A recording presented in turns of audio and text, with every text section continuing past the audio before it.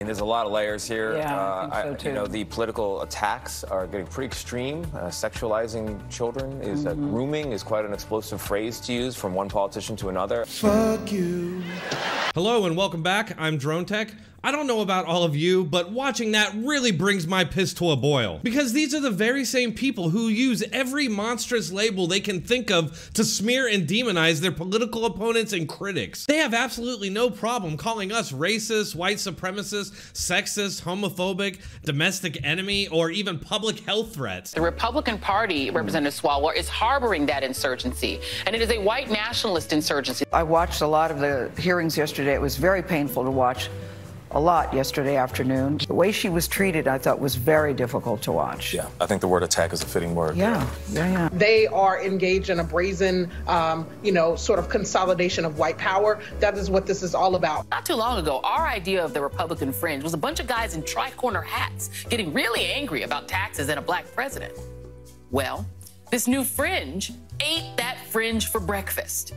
And it's taken over the mainstream Republican Party. These are the same people who turned people into property. Uh, Republican Party, you know, I used to joke that they were vanilla ISIS, right? They were like ISIS. They were like Al Qaeda in the sense that they um, radicalized online. We need to start having a serious conversation, not just about Donald Trump being a bad guy, but about the Republican Party becoming a radicalized anti democratic institution. McConnell is immortal. He will be there forever. He's like a vampire. The GOP is a mix of white supremacy and fascism. The Republican Party is basically a domestic terrorist cell at this point, and they should be treated as such. You later said to CNN's uh, Dana ba- uh, Bash that you didn't think racism was involved in the questioning she received from some of your Republican colleagues, but she was repeatedly interrupted. Her credibility was questioned. point was is uh, I can't get into the heads of my colleagues, nor do I want to go down uh, that odyssey. I, you know, the political attacks are getting pretty extreme. Uh, sexualizing children is uh, Mm-hmm. grooming is quite an explosive phrase to use from one politician to another. I mean, honestly, have you ever seen a segment like this that was in response to Democrats or the media calling their political opponents these things?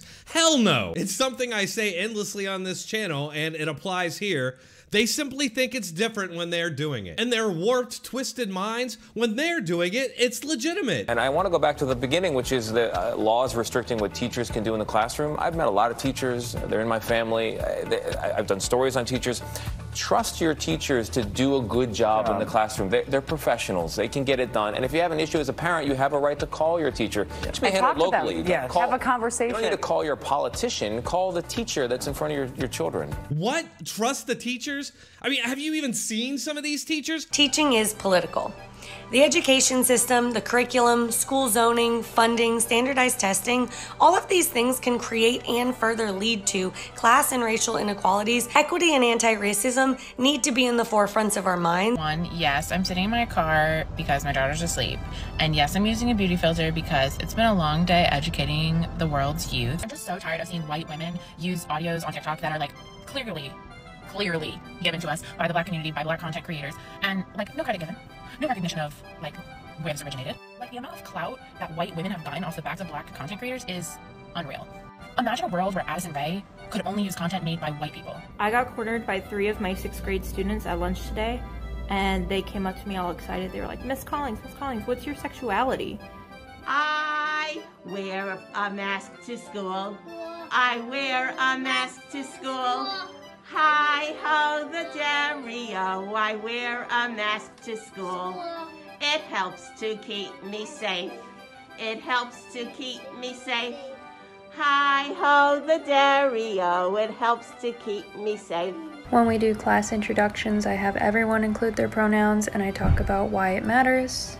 And I always encourage students to ask questions if they don't quite understand because I know to a lot of those students, I'm probably the first non binary teacher they've ever had. I know the media doesn't want you seeing what these teachers have been putting out in public, but thanks to patriots like Libs of TikTok, we're seeing exactly who these teachers are. Oh, yeah, you can clearly have a rational conversation with these Maoist revolutionary wannabes. The truth is, and I think we all know at this point, the left, the Democrats, the media, and big tech in general general don't want to sing who these people really are and the insane shit they're posting online. I wonder what percentage of these people who are just clamoring to teach young children about made up genders and gay sex actually have children. I know there's data out there on this, but I couldn't find it myself. I've heard some other people reference it. If you've got it, please post it in the comments. Oh, and in case you're wondering who sponsored this CBS News propaganda piece, that's Crest and Progressive. Make sure not to spend your money on companies that hate you. All right, folks, that's all I have for that one. Thanks for watching. If you enjoyed it, hit that like button, share, and subscribe. And make sure to go check out Libs of TikTok on Twitter. I'll put the link in the description and pin comment.